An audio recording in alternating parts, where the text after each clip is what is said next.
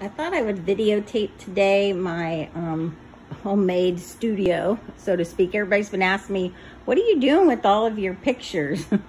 I, right now, I, I really have been trying to experiment and get better at what I'm doing. So this is some, I have my own, basically like a gallery going on in here.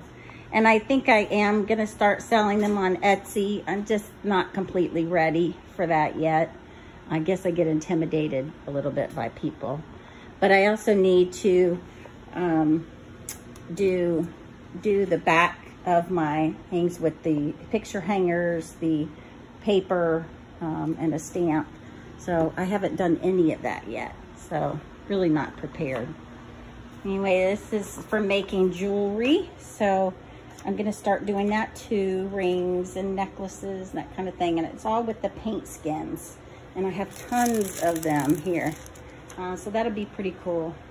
I do like drawing too, so I don't have all this extra time for all of this too sometimes. So it's kind of, here's where I paint. Um, this is something that Scott and I made, um, although I really need a bigger one. But here's some of my paintings. You guys have probably seen all that. Look at all this paint. And it's not cheap either. But anyway, I've done all kinds of different pieces, small, larger, that kind of thing. So anyway, that's where all of this is. You've all been asking me. Maybe we'll do, I haven't even got into that yet where you videotape yourself. So who knows?